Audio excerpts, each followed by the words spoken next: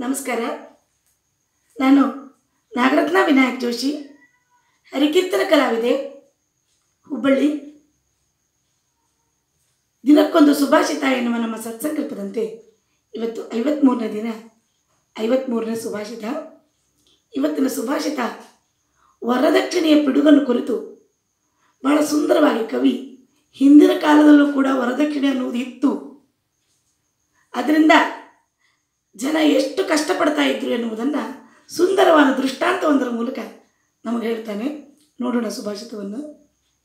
ಕತ್ಯಶ್ವ ಕತಿಧೇನವ ಕತಿಗಜ ಕತ್ಯದ್ಭುತ ಪಾದಪಾಹ ಸುಂದರ್ಯ ಕತಿ ಸುಸ್ರವ ಕತಿ ಮಹಾರತ್ನಾನ್ಯನರ್ಘ್ಯಾಣಿ ಚ ಜಾತೈಕಾ ಕಿಲ ಕನ್ಯಕಾ ಜನನಿಧೇ ದಾತುಂ ಪ್ರಸಕ್ತ ಯದಾ ಸರ್ವಂ ತದ್ವ್ಯಯಿತಂ ತದಾ ಪರಿಣತೌ ನಾಮೈಕಮುಚ್ಛೇಷಿತಂ. ಬಹಳ ಸುಂದರವಾಗಿ ಕವಿ ಈ ಸುಭಾಷಿತದಲ್ಲಿ ಹೇಳ್ತಾನೆ,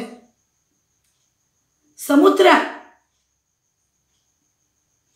ಒಂದು ಮಗಳು ಒಬ್ಬಳು ಮಗಳು ಲಕ್ಷ್ಮೀದೇವಿ, ಅವಳನ್ನು ಮದುವೆ ಮಾಡಿ ಕೊಡಲಿಕ್ಕೆ ಎಷ್ಟು ಕಷ್ಟಪಡ್ತಂತೆ, ಎಲ್ಲ ಎಷ್ಟೊಂದು ವರದಕ್ಷಿಣೆ ಕೊಟ್ಟಂತೆ ಕತ್ಯಶ್ವ, ಕತಿದೇನವ, ಕತಿಗಜ, ಕತ್ಯದ್ಭುತ ಪಾದಪಾಹ.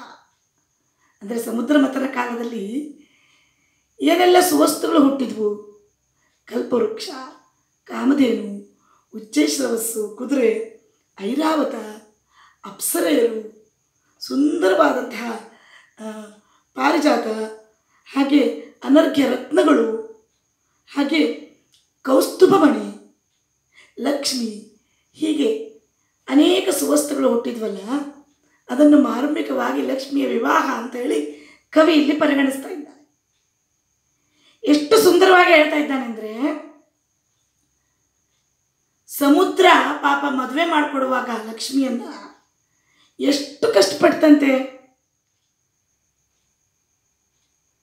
ಏನೇನು ವರದಕ್ಷಿಣೆ ಕೊಡ್ತು, ಎಷ್ಟೊಂದು ಕುದುರೆಗಳನ್ನು, ಹಸುಗಳನ್ನು, ಆನೆಗಳನ್ನು, ಉತ್ತಮವಾದಂತಹ ಗಿಡಗಳನ್ನು, ಹೂವಿನ ಗಿಡಗಳನ್ನು, ಬಾಡದ ಹೂವಿನ ಗಿಡಗಳನ್ನು ಕಲ್ಪವೃಕ್ಷವನ್ನು, ಕಾಮಧೇನುವನ್ನು, ಚಿಂತಾಮಣಿಯನ್ನು, ಅತ್ಯಂತ ಸುಂದರಿಯರಾದಂತಹ ಅಪ್ಸರ ಸ್ತ್ರೀಯರನ್ನು, ಅನೇಕ ಮಹಾರತ್ನಗಳನ್ನು, ಅರ್ಥಾತ್ ಕೌಸ್ತುಭಮಣಿಯನ್ನು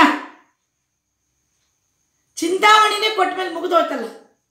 ಏನಕ್ಕೆ ಚಿಂತಾಮಣಿಯನ್ನು ಮುಟ್ಟಿಸಿದ್ರು ಕೂಡ ಅದು ಬಂಗಾರವಾಗ್ತದೆ ಹಾಗಾದರೆ ಇಷ್ಟೆಲ್ಲ ಸುವಸ್ತುಗಳನ್ನು ಕೇವಲ ಲಕ್ಷ್ಮಿಯನ್ನು ಮದುವೆ ಮಾಡಿ ಕೊಡಲಿಕ್ಕೆ ವಿಷ್ಣುವಿಗೆ ಬಳುವಳಿಯಾಗಿ ಸಮುದ್ರ ಕೊಡ್ತಲ್ಲ? ಹುಸ್ ಅಂತೇಳಿ ಮದುವೆ ಆದಮೇಲೆ ಸಮುದ್ರ ಕುಳಿತುಕೊಂಡಿರಬೇಕು. ಯಾಕೆಂದರೆ ಜಾತೈಕಾಕಿಲ ಕನ್ಯಕಾ ಜಲನಿಧೇರ್ ಧಾತುಂ ಪ್ರಸಕ್ತ ಯದ ಸರ್ವಂತ ದ್ವೈತಂ ತದಾ ಪರಿಣತವು ನಾಮೈಕ ನಾಮೈಕ ಎಲ್ಲ ಖಾಲಿ ಆಯ್ತಂತೆ, ಇಡೀ ಸಮುದ್ರನೇ ಖಾಲಿ ಆಯ್ತಂತೆ. ಕೊನೆಗೆ ಸಿಟ್ಟು ಬಂದು ಅದಕ್ಕೆ ಮೋಸ್ಟ್ಲಿ ಇನ್ನೊಬ್ಬ ಕವಿ ಹೇಳ್ತಾನೆ ಸಮುದ್ರಕ್ಕೆ ಸಿಟ್ಟು ಬಂತಂತೆ, ಇಷ್ಟೆಲ್ಲ ವರದಕ್ಷಿಣೆ ಕೇಳ್ತಾ ಇದ್ದಾರಲ್ಲ ಅಂತ ಹೇಳಿ ಸಮುದ್ರ ಸಿಟ್ಟು ಬಂದು ಅದರ ನಿಶ್ವಾಸದಿಂದ ವಿಷ ಕೊಡ್ತಂತೆ. ಆವಾಗ ಈಶ್ವರ ಬಂದು ಜಗಳ ಎಲ್ಲ ಪರಿಹಾರ ಮಾಡಿ ಆ ವಿಷವನ್ನು ತಾನು ಕುಡಿದು ಕೊನೆಗೆ ಸಾಗರವನ್ನು ಸಮಾಧಾನಿಸಿ, ನೋಡಪ್ಪ, ಮದುವೆ ಮಾಡಿ ಕೊಡ್ತಾ ಇದ್ದೀಯಾ ಆದ್ದರಿಂದ ಒಳ್ಳೆ ಥರದಲ್ಲಿ ಮದುವೆ ಮಾಡಿಕೊಡು ಅಂತ ಕೇಳಿ, ಆಮೇಲೆ ಈ ಲಕ್ಷ್ಮಿ ಎನ್ನುವ ಕನ್ನಿಕೆಯನ್ನು ವಿಷ್ಣುವಿಗೆ ಕೊಟ್ಟ ಅಂತ ಇನ್ನೊಂದು ಕಡೆಯಲ್ಲಿ ಹೇಳ್ತಾರೆ ಸುಭಾಷಿತದಲ್ಲಿ ಹಾಗ ಹಾಗಾದ್ರಿಂದ ಕೊನೆಗೆ ತನ್ನಲ್ಲಿರುವಂತಹ ಅತ್ಯಂತ ದೊಡ್ಡ ಸುವಸ್ತುವಾದಂತಹ ಅಮೃತವನ್ನು ಕೂಡ ಬಳುವಳಿಯಾಗಿ ಸಾಗರ ಕೊಟ್ಟು ಮದುವೆ ಮಾಡಿ ತನ್ನಲ್ಲಿದ್ದ ಎಲ್ಲ ಸಂಪತ್ತು ಕಳ್ಕೊಂಡು ಬರೀ ಹೆಸರಷ್ಟೇ ಉಳಿತದೆ ಸಮುದ್ರದ್ದು. ಸಮುದ್ರ ಎನ್ನುವ ಹೆಸರಷ್ಟೇ ಉಳಿತೆ ವಿನಃ ಬೇರೆ ಏನೂ ಉಳಿಲಿಲ್ಲ. ಎಲ್ಲ ಸುವಸ್ತುಗಳನ್ನು ಲಕ್ಷ್ಮಿ ಮದುವೆ ಮಾಡಿಕೊಡುವಾಗ ವರದಕ್ಷಿಣೆಯಾಗಿ ಕೊಟ್ಟು ಬಿಡ್ತಲ್ಲ ಸಮುದ್ರ ಅಂತ ಕವಿ ತಮಾಷೆಯಾಗಿ ಹೇಳ್ತಾರೆ.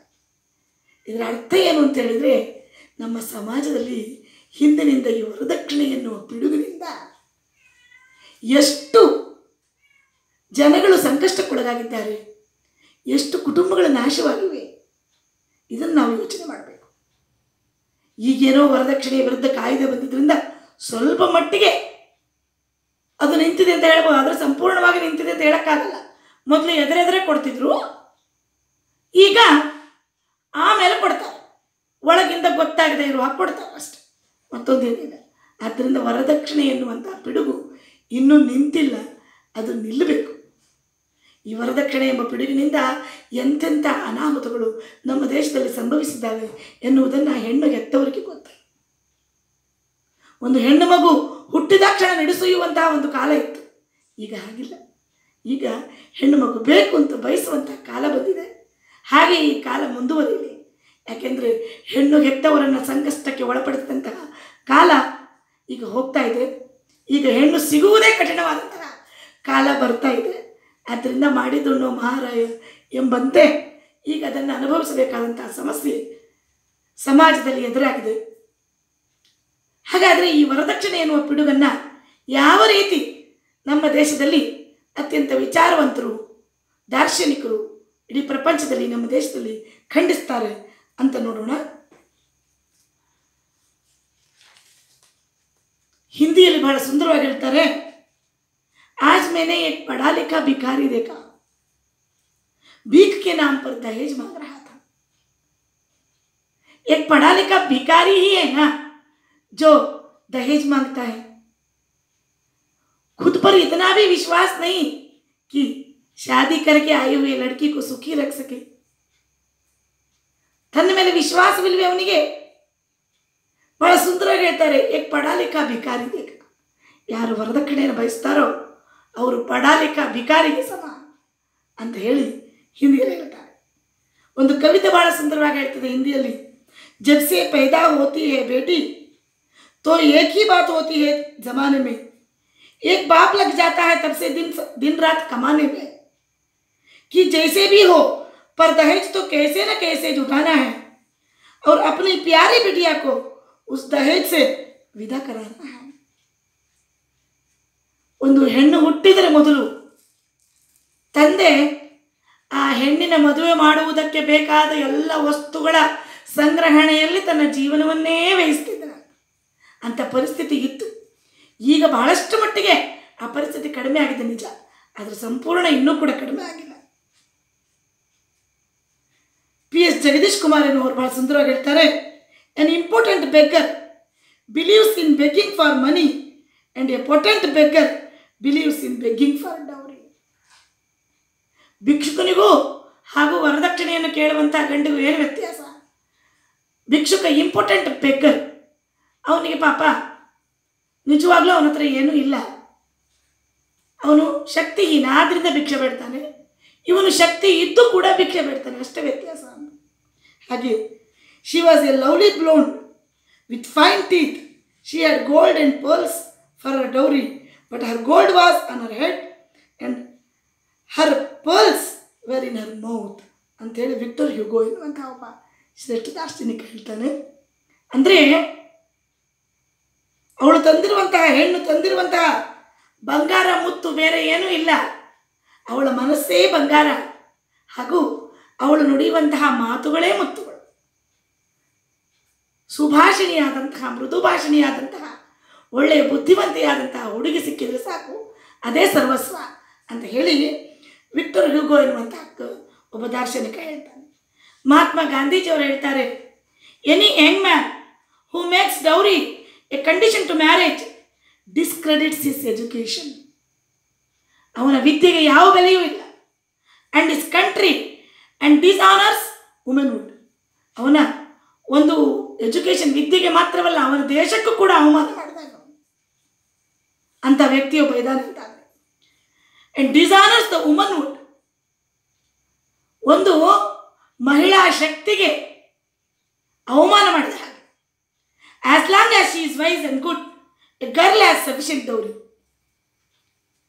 ಒಬ್ಬ ಬುದ್ಧಿವಂತೆಯಾದ ಒಳ್ಳೆಯ ಗುಣ ಸ್ವಭಾವಗಳನ್ನು ಹೊಂದಿದಂತಹ ಹುಡುಗಿಯೇ ನಿಜವಾದ ಒಂದು ಡೌರಿ ವರದಕ್ಷಿಣೆ. ಆದ್ದರಿಂದ the dowry not the wife is the object of attraction ನಿಜವಾಗಿ ಯಾರಿಗೆ ಡೌರಿ ಅನ್ನೋದು ಒಂದು ಅಟ್ರಾಕ್ಷನ್ ಆಗಿರ್ತದೋ, ಯಾರಿಗೆ ಹೆಣ್ಣಿನಲ್ಲಿ ಯಾವ ಆಸಕ್ತಿ ಇರುವುದಿಲ್ಲ, ಹೆಣ್ಣು ಏನು ತರ್ತಾಳೆ ಅಂತ ಆಸಕ್ತಿ ಇರ್ತದೆಯೋ ಅಂಥ ಮನುಷ್ಯರು ನಮ್ಮ ದೇಶಕ್ಕೂ, ನಮ್ಮ ನಾಡಿಗೂ ಹಾಗೂ ಅವರು ಕಲಿತಂತಹ ವಿದ್ಯೆಗೂ ಅಪಮಾನಕರವಾದ ರೀತಿಯಲ್ಲಿ ವ್ಯವಹಾರ ಮಾಡ್ತಾರೆ ಅಂತ ಹೇಳಿ ಗಾಂಧೀಜಿಯವರು ಹೇಳ್ತಾರೆ. ಹಾಗಾದರೆ ಹೆಣ್ಣಿನ ಮಹತ್ವ ಎಂಥದ್ದು? ಜಿ ಎಸ್ ಶಿವರುದ್ರಪ್ಪನವ್ರು ಹೇಳ್ತಾರೆ, ಆಕಾಶದ ನೀಲಿಯಲ್ಲಿ ಚಂದ್ರ ತಾರೆ ತೊಟ್ಟಿಲಲ್ಲಿ ಬೆಳಕನಿಟ್ಟು ತೂಗಿದಾಕೆ ನಿನಗೆ ಬೇರೆ ಹೆಸರು ಬೇಕೆ? ಸ್ತ್ರೀ ಎಂದರೆ ಅಷ್ಟೇ ಸಾಕೆ. ಮನೆ ಮನೆಯಲ್ಲಿ ದೀಪ ಮುಡಿಸಿ ತುತ್ತು ಹೊತ್ತಿಗೆ ಅನ್ನ ಉಣಿಸಿ ತಂದೆ ಮಗನ ತಬ್ಬಿದಾಕಿ, ನಿನಗೆ ಬೇರೆ ಹೆಸರು ಬೇಕೆ? ಸ್ತ್ರೀ ಎಂದರೆ ಅಷ್ಟೇ ಸಾಕು. ಹಿಂದೆ, ಬಹಳ ಹಿಂದೆ. ಸ್ತ್ರೀಯ ಬಗ್ಗೆ ನಾನೊಂದು ಕವನ ಬರೆದಿದ್ದೆ. ಅದು ನನಗೆ ನೆನಪಾಗ್ತಾ ಇದೆ. ಕಾಮನ ಬಿಲ್ಲನ್ನು ಮೀರಿಸಿದ ಹುಬ್ಬು, ಹವಳದ ಕಾಂತಿಯೊಳು ಅಧರಗಳ ಮೆರುಗು, ಅವಳಾಟ ಕುಡಿನೋಟ ನಡೆಮಾಟ ಮನದೋಟ, ಬವಣೆ ಪಡುವರು ಕವಿಗಳೇತ ಕಿವ ಬರೆದು. ಹೆಣ್ಣು ಚಂಚಲ ಎಂದು ಕಡೆಗಣಿಸಿ ಬಿಡುವಾಗ ಮಣ್ಣುಗೂಡಿಸಲೇಕೆ ಸ್ವಾಭಿಮಾನವನು? ಮೃದುಬಾಲೆ ಚದುರೆ ಮನ ಮಧುರೆ ಮೋಹಿನಿ ಎಂದು ಬಣ್ಣಿಸಲು ಲೇಖನಿಯ ಬಳಸುವರದೇಕೆ ಸಹನೆ ಶಾಂತಿಯ ಮೂಲ, ಕ್ಷಮೆಯ ಧರಿತ್ರಿ, ಅಹಮಿಕೆಯ ತೇಪೆ ಹಚ್ಚುವಿರೇಕೆ ಮತ್ತೆ? ಪುಸ್ತಕದಿ ಮಸ್ತಕದಿ ವ್ಯಸ್ತವಾಗಿ ಚವಿಯ ನಿರಸ್ತಗೊಳಿಸದೆ ಉಳಿಸಿ ಸ್ವಾಭಿಮಾನವನು. ಸೌಂದರ್ಯ ಅರಗಿಣಿಯ ಆತ್ಮಾಭಿಮಾನವನು. ಸೌಂದರ್ಯ ದರಗಿಣಿಯ ಆತ್ಮಾಭಿಮಾನವನು. ಸಂಗಿಣಿಯ ಮೌಲ್ಯವನ್ನು ಪರಿಗಣಿಸಿರಿ. ರಾಗಿಣಿಯ ರಾಗಕ್ಕೆ ಶ್ರುತಿ ಸೇರಿಸಿದರ ತರಂಗಿಣಿಯು ಒಲಿಯುವಳು. ಬಾಳು ಹಸನಾಗುವುದು ದೈವಕೃತವಲ್ಲ ಆದ್ದರಿಂದ ಹೆಣ್ಣಿಗೆ ನಾವು ಅಪಾರವಾದ ಗೌರವವನ್ನಿತ್ತಾಗ ಆ ಹೆಣ್ಣು ದೇವತೆಯಾಗಿ ನಮ್ಮನ್ನು ಎಲ್ಲ ರೀತಿಯಿಂದಲೂ ಕೂಡ ಸಂತೃಪ್ತರನ್ನಾಗಿಡ್ತಾಳೆ. ಮಡದಿಯಾಗಿ ಮಗಳಾಗಿ, ತಾಯಿಯಾಗಿ ಆ ಹೆಣ್ಣು ಜಗತ್ತಿಗೆ ಎಲ್ಲ ರೀತಿಯಿಂದ ತನ್ನನ್ನು ತಾನು ಸಮರ್ಪಿಸ್ಕೊಳ್ತಾಳೆ ಆದ್ದರಿಂದ ಈ ವರದಕ್ಷಿಣೆ ಎನ್ನುವಂಥ ಪಿಡುಗಿದೆಯಲ್ಲ ಇದು ನಮ್ಮ ದೇಶದಿಂದ ಹೊರಟು ಹೋಗಬೇಕು. ನನಗೊಂದು ಸುಂದರ ಉದಾಹರಣೆ ನೆನಪಾಗ್ತದೆ. ಒಬ್ಬ ಹುಡುಗ ಮದುವೆ ಆಗುವ ಮೊದಲು ಹಿಂದೆ A B C D E F ಕೇಳ್ತಿದ್ದಂತೆ. ಈಗ ಯಾರೂ ಅಷ್ಟು ಕೇಳೋ ಧೈರ್ಯ ಇಲ್ಲ. ಹಿಂದೆ ಕೇಳ್ತಿದ್ದಂತೆ. ಹೆಣ್ಣಲ್ಲಿ A B C D E F ಇರಬೇಕು. ಏನೇನದು? ಎ ಅಂದರೆ ಏಜ್ ಇವನು ಬೇಕಾದರೆ ನಲವತ್ತೈದು, ಐವತ್ತು ವರ್ಷ ಆದರೂ ಪರವಾಗಿಲ್ಲ. ಹುಡುಗಿ ಮಾತ್ರ ಹದಿನಾರೇ, ಹದಿನೆಂಟು ವರ್ಷನೇ ಇರಬೇಕು. ಹಾಗೆ ಬಿ, ಬ್ಯೂಟಿ. ಸುಂದರವಾಗಿರಬೇಕು ಹುಡುಗಿ. ಇವನು ಇವನು ಬಣ್ಣ ತೊಳೆದಿಟ್ಟು ಮಸಿ ಕೆಂಡದ ಬಣ್ಣ ಇದ್ದಾಗಿದ್ದರೂ ಪರವಾಗಿಲ್ಲ. ಹುಡುಗಿ ಮಾತ್ರ ಸುಂದರವಾಗಿರ್ಬೇಕು. C, character. ಹುಡುಗಿಯ ನಡತೆ ಚೆನ್ನಾಗಿರಬೇಕು. ಡಿ ಡೌರಿ ಅವರಪ್ಪ ಏನು ಕೊಡ್ತಾನೆ, ಕಾರ್ ಕೊಡ್ತಾನೋ, ಬಂಗಲೆ ಕೊಡ್ತಾನೋ ಅಥವಾ ಫಾರಿನ್ ಕಳಿಸ್ತಾನೋ? ಈಗಂತೂ ಕೊರೋನಾ ಬಂದು ಯಾರೂ ಫಾರಿನಿಗೆ ಹೋಗೋ ಸುದ್ದಿ ಮಾತಾಡೋದಿಲ್ಲ ಈಗ. ಮೊದಲೆಲ್ಲ ಹೇಳ್ತಿದ್ರು, ನನ್ನ ಮಗ ಅಮೆರಿಕದಲ್ಲಿದ್ದಾನೆ. ನನ್ನ ಮಗಳು ಇಂಗ್ಲೆಂಡ್ನಲ್ಲಿದ್ದಾನೆ. ಇದ್ದಾಳೆ. ಅಂದರೆ ನಮ್ಮ ದೇಶದಲ್ಲಿ ಏನು ಇಲ್ಲೇ ಇಲ್ಲ. ಹೊರಗಡೆ ಇರೋರಿಗೆ ಬೆಲೆ ಅನ್ನೋ ಹಂಗಿತ್ತು. ಈಗ ಹಾಗಲ್ಲ. ಅಮೇರಿಕದಿಂದ ಬಂದಿದ್ದಾನ. ತಕ್ಷಣ ಹೋಗ್ತೇವೆ ಪೊಲೀಸ್ ಸ್ಟೇಷನ್ಗೆ. ಕೊರೋನಾ ಹೆಲ್ಪ್ಲೈನಿಗೆ ಫೋನ್. ಯಾರೊಬ್ರು ಬಂದಿದ್ದಾರೆ ನೋಡಿ ನಮ್ಮ ಮನೆಗೆ, ನಮ್ಮ ಮನೆ ಪಕ್ಕದವರು. ಅಮೇರಿಕದಿಂದ. ನೋಡಿ ಕೊರೋನಾಗೆ ಬಂದಿದೆಯಾ ಅಂತ. ಅಂಥ ಪರಿಸ್ಥಿತಿ ಬಂದಿದೆ ಇವತ್ತು. ಆದ್ದರಿಂದ ನೋಡಿ, ಕಾಲ ಹೇಗೆ ಬದಲಾಗ್ತದೆ ಅಂತ ಹೇಳಿ. ನಮ್ಮ ದೇಶದಷ್ಟು ಶ್ರೇಷ್ಠವಾದಂಥ ದೇಶ ಎಲ್ಲಿಯೂ ಇಲ್ಲ. ಅಲ್ಲಿನ ವಿದ್ಯಾವಂತರು ಇಲ್ಲಿ ಸುಖಶಾಂತಿಗೋಸ್ಕರ ಭಾರತಕ್ಕೆ ಬರ್ತಾರೆ. ನಮ್ಮವರು ಹಣಕ್ಕೆ ಹೋಗಿ, ಹಣಕ್ಕಾಗಿ ಅಲ್ಲಿಗೆ ಹೋಗ್ತೇವೆ ಅಷ್ಟೇ. ಮತ್ತೊಂದು ಏನಿಲ್ಲ. ಆದ್ದರಿಂದ ಡೌರಿ ನಿಮ್ಮಪ್ಪ ಏನು ಕೊಡ್ತಾನೆ ಏಜ್, ಬ್ಯೂಟಿ, ಕ್ಯಾರೆಕ್ಟರ್, ಡೌರಿ. ಹಾಗೆ ಈ ಎಡುಕೇಶನ್ ಹುಡುಗಿ, ಹುಡುಗ ಇವ S S L C, F A, I L ಆದರೂ ಪರವಾಗಿಲ್ಲ. ಹುಡುಗಿ ಮಾತ್ರ ಗ್ರ್ಯಾಜುಯೇಟ್ ಆಗಿರಬೇಕು. ಎಡುಕೇಶನ್ ಕೇಳ್ತಾನ ಹುಡುಗಿ ಗ್ರ್ಯಾಜುಯೇಟ್ ಆಗಿದ್ದೀರಿ, ಆಮೇಲೆ ಈಗಿನ ಹುಡುಗರು ಇನ್ನೂ ಒಂದು ಹೆಜ್ಜೆ ಮುಂದೆ ಹೋಗಿ ಅಷ್ಟೇ ಅಲ್ಲ ಫ್ಯಾಷನ್ ಹುಡುಗಿ ಫ್ಯಾಷನ್ ಮಾಡ್ಲಿಕ್ಕೆ ಬರ್ತದೋ? ಕೈಗೆ ಹಾಕೋದನ್ನು ಕಿವಿಗೆ ಹಾಕ್ಕೊಳ್ಬೇಕು. ಹಣೆಗೆ ಹಾಕೋದನ್ನು ತುಟಿಗೆ ಹಚ್ಕೊಳ್ಬೇಕು. ಹುಡುಗಿಗೆ ಫ್ಯಾಷನ್ ಮಾಡ್ಲಿಕ್ಕೆ ಬಂದರೆ ಮದುವೆ ಮಾಡ್ಕೊಳ್ತೇವೆ ಅಂತ. Age beauty character dowry education fashion ಇಷ್ಟು ಒಂದೇ ಹುಡುಗಿಯಲ್ಲಿ ಇರ್ಲಿಕ್ಕೆ ಆಗುತ್ತಾ ಒಂದಿದ್ರೆ ಒಂದಿರುವುದಿಲ್ಲ. ಆದರೆ ಈಗಿನ ಹುಡುಗಿಯರೇನು ಕಡಿಮೆ ಇಲ್ಲ. ಅವರು ಇಷ್ಟು ಯಾರಾದರೂ ಕೇಳಿದರೆ ಹುಡುಗರು ವರದಕ್ಷಿಣೆಯಾಗಿ ಅಥವಾ ಹುಡುಗಿಯಲ್ಲಿ ಗುಣಗಳು ಇಷ್ಟು ಬೇಕು ಅಂತ ಕೇಳಿದರೆ ಆವಾಗ ಈಗಿನ ಹುಡುಗಿಯರು ಮುಂದಿನ ಲೆಟರ್ ಹೇಳ್ತಾರಂತೆ, ಜಿ ಗೆಟ್ ಔಟ್ ಅಂತ. ಆದ್ದರಿಂದ ಈ ವರದಕ್ಷಿಣೆಯನ್ನು ಪಿಡುಗು ನಮ್ಮ ದೇಶದಿಂದ ಸಂಪೂರ್ಣವಾಗಿ ತೊಲಗಲಿ. ಎಲ್ಲ ಹೆಣ್ಣು ಮಕ್ಕಳಿಗೂ ನ್ಯಾಯ ಸಿಗಲಿ. ಹಾಗೆ ಎಲ್ಲ ಹೆಣ್ಣು ಮಕ್ಕಳು ಕೂಡ ಸಾಫ್ಟ್ವೇರ್ ಕಂಪನಿಯವರೇ ಬೇಕು. ಅಥವಾ ನಮಗೆ ಅಮೇರಿಕಾದಲ್ಲಿರೋ ಹುಡುಗನೇ ಬೇಕು ಅಂತ ಯೋಚನೆ ಮಾಡಬೇಡಿ. ಸುಗುಣಾಢ್ಯರಾದ ವರ ಹಾಗೂ ವಧು ಇಬ್ಬರು ಪರಸ್ಪರರಿಗೆ ಸಿಕ್ಕಾಗ ಅದು ಸಾರ್ಥಕವಾದ ಜೀವನವನ್ನು ನಮಗೆ ಕೊಡ್ತದೆ ಅಂತ ಹೇಳ್ತಾ ಇವತ್ತಿನ ಸುಭಾಷಿತವನ್ನು ಮುಗಿಸ್ತಾ ಇದ್ದೇನೆ. ಒಂದ್ಸಲ ಓದ್ಬಿಡೋಣ. ಸಮುದ್ರ ಕೂಡ ಎಷ್ಟೊಂದು ವರದಕ್ಷಿಣೆ ಕೊಟ್ಟಿತ್ತು ನೋಡಿ ಪಾಪ. ಕತ್ಯಶ್ವ ಕತಿಧೇನವ ಕತಿಗಜ ಕತ್ಯದ್ಭುತ ಪಾದಪಾಲ ಸುಂದರಿಯ ಕತಿ ಸುಸ್ರವ ಕತಿ ಮಹಾರತ್ನಾನ್ಯನರ್ಘ್ಯಾಣ್ಯಪಿ ಜಾತೈಕಾ ಕಿಲ ಕನ್ಯಕಾ ಜಲನಿಧೆ ದಾತುಂ ಪ್ರಸಕ್ತ ಯದ ಸರ್ವಂ ತದ್ವ್ಯಯಿತಂ, ತದಾ ಪರಿಣತವು ನಾಮೇಕಮುಚ್ಛೇಷಿತಂ ಎಂಬುದಾಗಿ ಹೇಳ್ತಾ ಇದ್ದಾರೆ. ಆದ್ದರಿಂದ ಇವತ್ತಿನ ಸುಭಾಷಿತವನ್ನು ನಿಮ್ಮ ಮುಂದಿಟ್ಟು ಮತ್ತೆ ನಾಳಿನ ಸುಭಾಷಿತದಲ್ಲಿ ಭೇಟಿಯಾಗೋಣ. ನಮಸ್ಕಾರ.